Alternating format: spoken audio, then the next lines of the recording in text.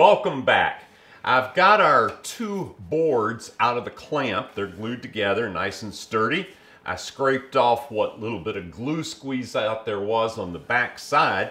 And now what I want to do is cut these to length. I'm going to trim off one end and I'm going to cut two 11 inch long pieces. And we're going to use this template to form the sides of the bird feeder. Now you can download this template off my website for free and print it out on your own printer. So let's get started.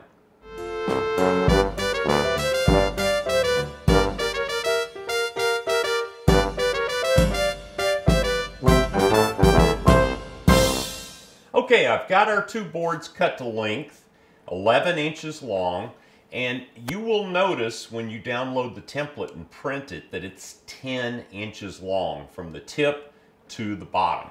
Part of the reason for that is because I had to make it fit on the scanner, but it's going to be okay because we're going to take care of that. Now this is sort of self-aligning. This is the point of the template and at the bottom it's four inches across so if you just mark the center of that four inch with a little arrow and then line up the point with the joint between these two boards and line up that two inch mark at the bottom with the joint between the two boards and it's going to be perfectly square and then all you have to do is just draw around the template and just get the outline. We don't, we're not going to worry about that dashed line there. I'll show you what that is in a few minutes. All right, now we're not going to cut these sides yet because the square edges on the board are going to help us. And what I've done is I've set my angle on my miter saw at 25 degrees. And that is the correct angle here. So all we want to do now is line this up real carefully to the outside of the line and cut that first angle off.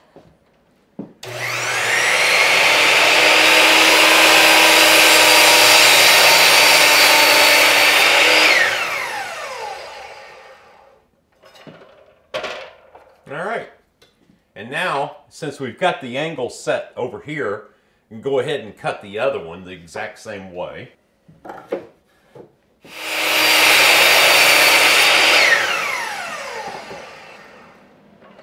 All right, and now what we'll do is we'll change this to 25 degrees the other way.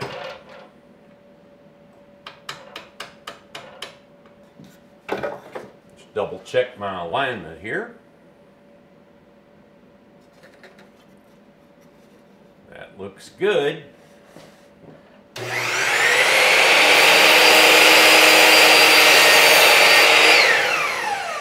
And there's the top where the roof will sit on the bird feeder.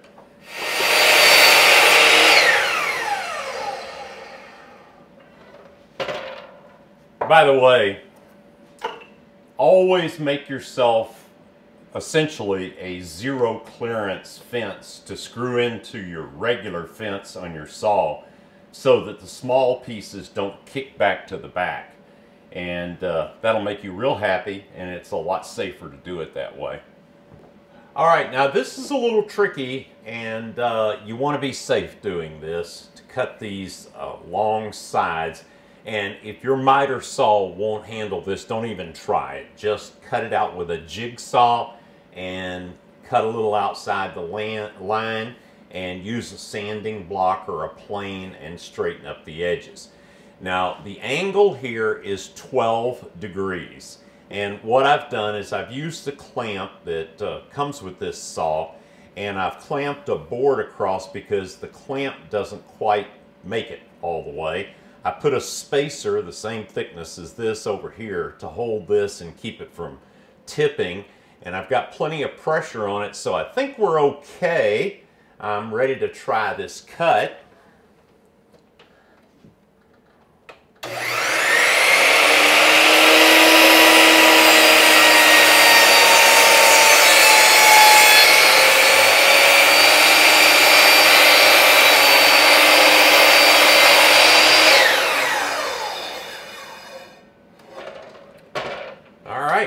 Worked out okay.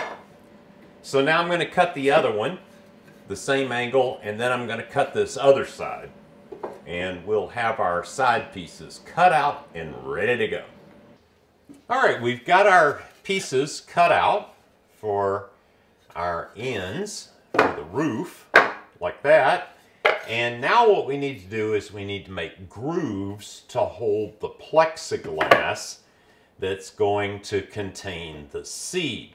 Now, I've removed the splitter uh, because I don't want that in right now because I'm not making a through cut. And I want to reduce the height of this to one quarter inch. That should do it. Right about there. All right, and then we want our grooves to be three quarters of an inch in from both sides. Well, we have our sides cut, so what we're going to do is we're going to use the fence. So I'm going to set the fence at three quarters of an inch. And all we've got to do is just run this through just like this. And the groove is going to go the entire length of the side. Just like that. All right, now the plexiglass that I purchased, um, the thickness is 0.08 inches. And I put my digital micrometer on the blade and at the widest point, at the widest point of each tooth, it's 0.12. So actually it's going to be uh, four tenths, four one hundredths, I'm sorry, of an inch bigger than the plexiglass, and that's fine. I don't mind if it wiggles around just a little bit. All right, so I've got a push pad here just to make sure that I don't get my hand anywhere close to the blade, and we're ready to make a groove.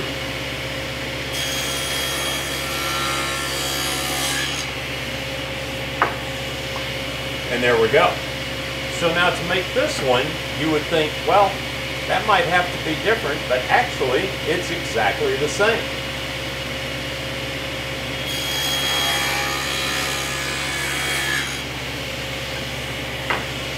And there we go. There's our two grooves. Now, I have done this, as I mentioned before, I have a rough side on the cedar and a smooth side. So I'm putting the smooth side to the inside and the rough side on the outside just for looks and I'm maintaining that orientation.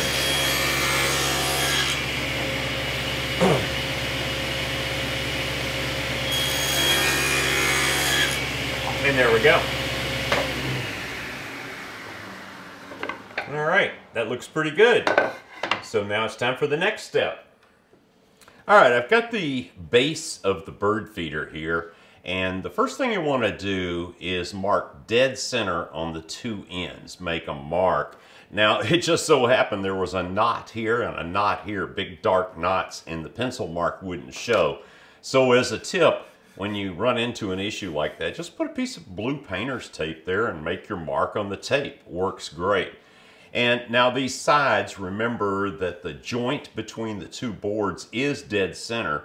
So all we have to do is line up that joint with the marks that you made and that will be perfectly centered.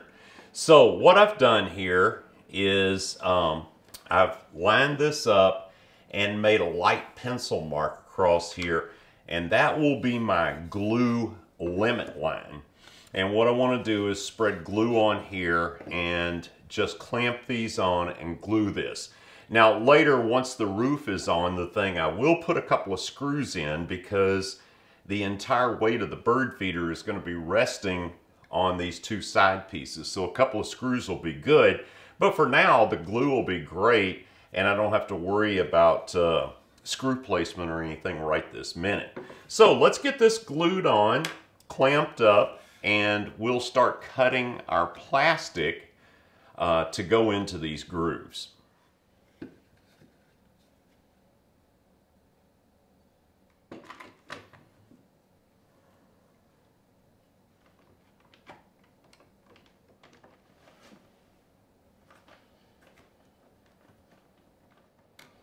Side benefit of using this tape is, is that uh, any little glue squeeze out um, is going to get on the tape and not on the wood. Not that the birds are going to mind, but when you're doing a nice piece of furniture, that's another little tip. All right, for our plexiglass to go into these grooves, we want to first measure the depth of the groove. Now the plexiglass is going to slide in and rest on top of the base here on either side. So we just measure from the base up to the top. That's uh, 8 and 3 eighths, so I think I'll make it 8 and a quarter. It doesn't need to go all the way to the top.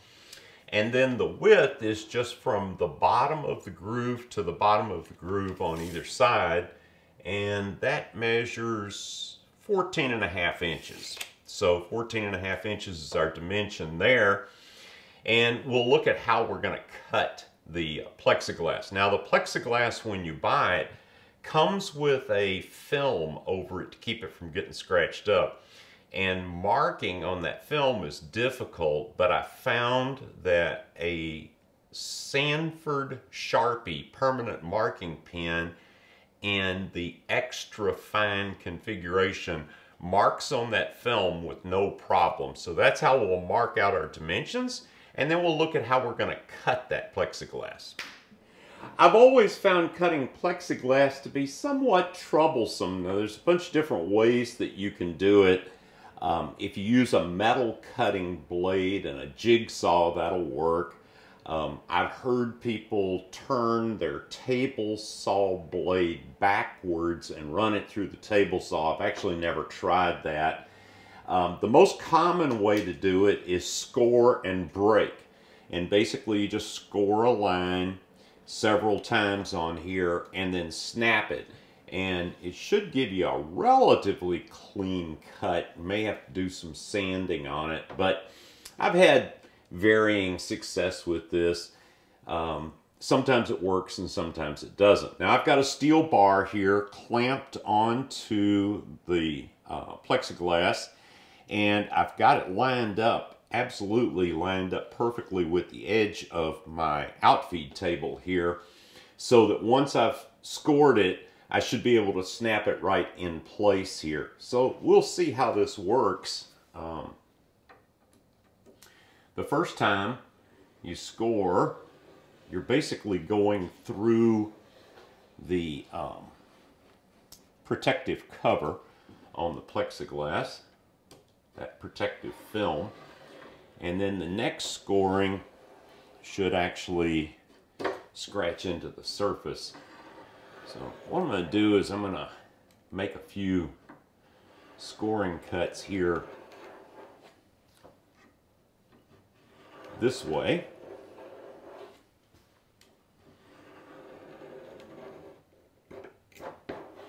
And then I'm going to turn around and make them this direction.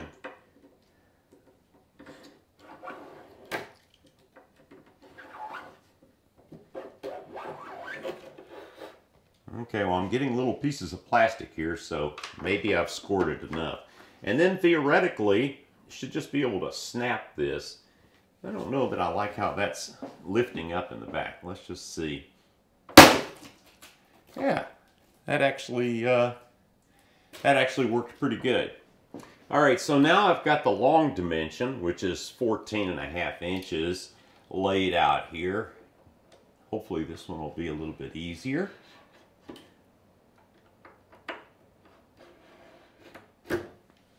Okay.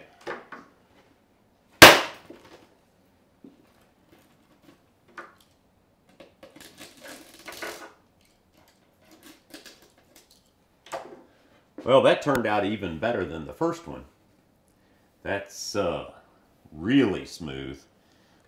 All right, so let's see how we did here with our plexiglass. Let's see if this will slide into the groove. Yeah, there we go.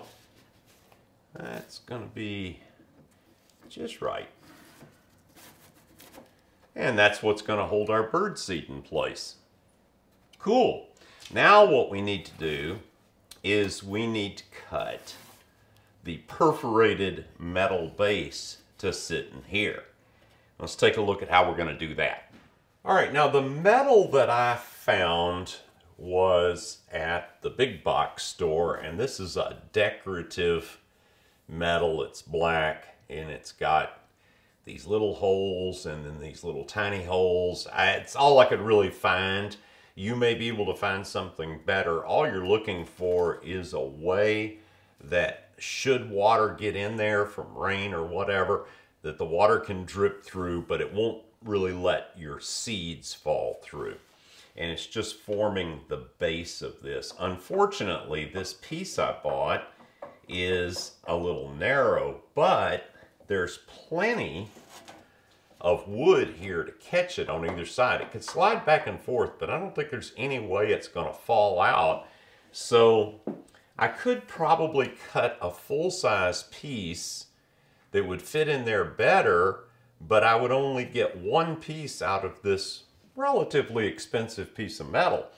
So I'm going to cut this right along here and just let it be in there loose. I think it's going to be okay. Plus I only have to make one cut. So I'm just going to measure this out and mark it and then I'm going to figure out the best way to cut this.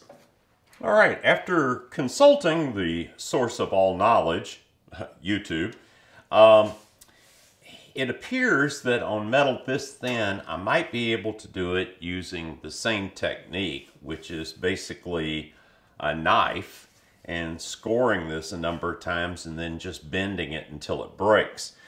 So I've measured out the distance here and of course I couldn't make a mark on this so I used a sharp nail and I made a little scratch mark on both sides and then I ran a piece of painter's tape down here just to uh, make sure I've got the line. And I'm gonna lay this heavy metal straight edge right on right on the edge. Hopefully right on the edge. It looks like I didn't get the tape on just perfectly straight but I've got it lined up with the marks. And maybe that tape will help keep the steel rule from moving. I'm just going to hold this down real tight.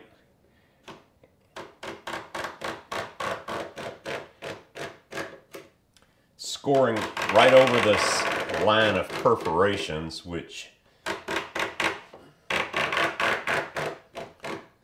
may actually be okay.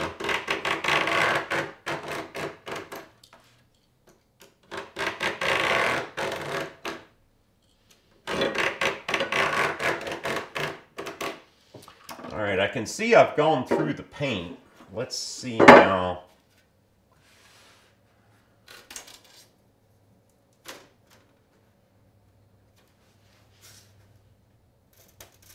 Oh yeah, look at that. Just came right off. All right, well that slipped right in there. Um, it does shift from side to side, but uh, there's no chance it's going to fall out. So I think we're in pretty good shape there. Got the plastic in. Now we're ready to make our roof pieces and we'll be wrapping this project up. Okay, now I've found four pieces of uh, one by four, so basically three and a half inches wide. And what I did was I set up the table saw and I skimmed off one edge, uh, like I said, just to make a glue edge or a nice straight edge on one side. You could do that at the jointer just as well. Now I've got these boards situated so the edge I just cut is all facing that way. Now what I want to do is skim the edge of two of these and then I'm going to set the blade at 25 degrees. Remember that's our roof angle and we're going to cut the edges of two of the boards at 25 where it'll meet at the peak. So let's get that done.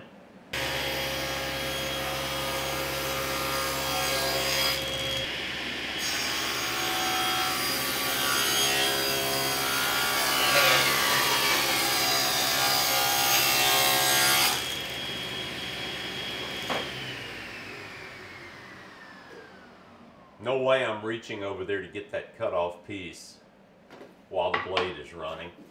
All right. So this is how, obviously this will meet up at the peak. Now all I have to do is glue those other two boards, edge glue those on here, and uh, that'll make the roof peak wide enough. And then we'll cut these to the length that we want. All right, you're probably wondering, how am I gonna glue these two together and clamp this with this angle cut over here in this side? Well, actually, that turns out to be pretty easy. I'm gonna glue these two together and the angle is facing that way. And then I'm going to take this pair and turn it upside down and glue those two together. And these two angles here will cancel each other out and it'll clamp together flush just like that. So I'm going to glue these boards together like this and let it sit for a little bit and we'll be ready to finish this project up. All right, with our roof blanks glued up, I have joined them together in the middle with some blue painter's tape and positioned it here on the bird feeder. And the first thing that I want to do is to mark the exact center of this. It's 19 and 3 quarters, so half of 19 is nine and a half, and half of three quarters is three eighths, so we need to be nine and seven eighths, and that will be the center. And then what we want to do is install our hinge. Now I've not attached this yet. I'm going to install the hinge first. Now this is just a commercially available, some call it a piano hinge. Uh, that I got at the local big box store. I'll open this up. All right, now this hinge will go up and down. So you want to make sure that you get a hinge that will fold both directions. And then what you want to do is just center this on this mark, just like that. And then what I'm going to use is an auger gimlet. And I'm going to make a mark dead center. And just get that hole started lightly.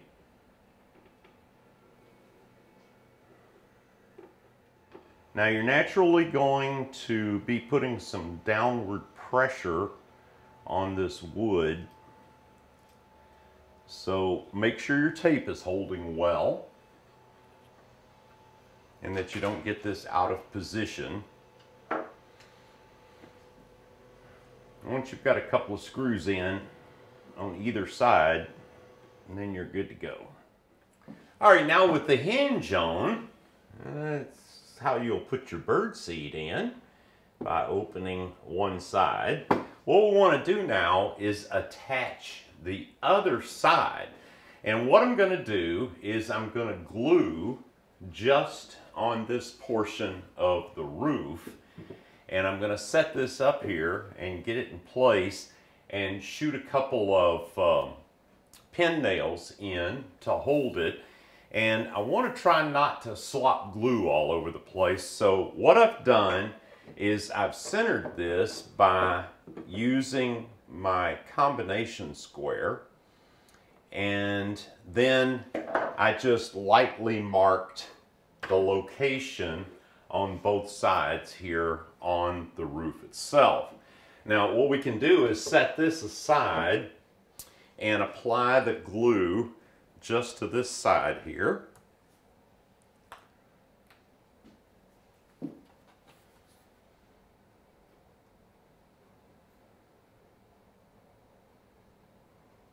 Make sure you've removed the film from your plastic at this stage because uh, once you glue the roof on, this piece of plastic is not going to come back out.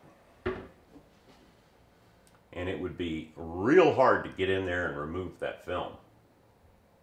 Now once this is set up and dried, I would recommend putting a couple of screws in and the reason for that is because the roof on this with the hinge will take a fair bit of wear and tear over time uh, from opening and closing it. And opening this side will necessarily torque this side a little bit.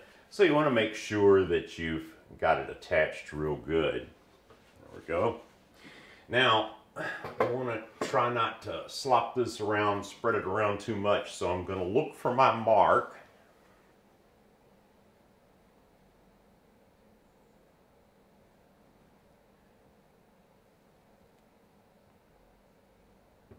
There. Now, if I have to slide it a little bit, I won't make too big a mess.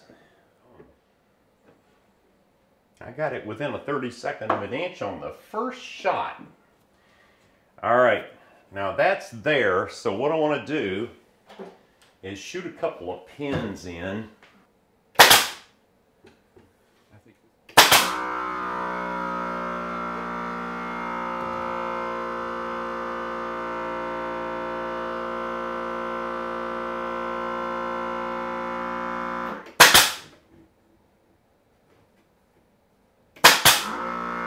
There we go. Now, perfect. Now we're not going to stress this too much until this glue sets up a little bit. And then the last thing to do is to add our wire to be able to hang this. All right, so the glue is dry on the roof. I've put a screw up here on either side to uh, put a little insurance on that side this is the side that moves. And I want to show you a little bit of detail. Uh, to hang this, I've used a piece of 3 32nd inch wire rope. And this is four feet long, exactly four feet long. And what I did, I'll turn this just a little bit, is I put a uh, screw eye in right here on either side. That's exactly two inches down from the peak. And I've got a wire rope aluminum ferrule that still needs to be crimped. So I'm not going to put any weight on this yet. Um, I've got to borrow a crimping tool from a buddy of mine. I'm not going to go out and pay 40 bucks for a crimping tool. That would uh, cost me 10 times more than it costs to build this bird feeder. But once that's tightened up, then we'll be able to hang this. I've got a ferrule here, and I've got a ferrule here to form the hanging loop. And I've looped the wire through another screw eye on the opposite side and installed another ferrule there. And if you look closely, you'll notice that I closed the lid real tight and drilled a clearance hole right through the peak to accommodate the wire so that the wire didn't keep the roof partially open. And that will wear over time because this will get some wind movement and birds will be rocking it and that hole will get a little bit bigger as time goes by as the wire saws on it but that's going to be just right. I've also installed two screws on either end piece because as I mentioned before with the wire attached to this end piece the end piece is literally holding up the entire weight of the bird feeder.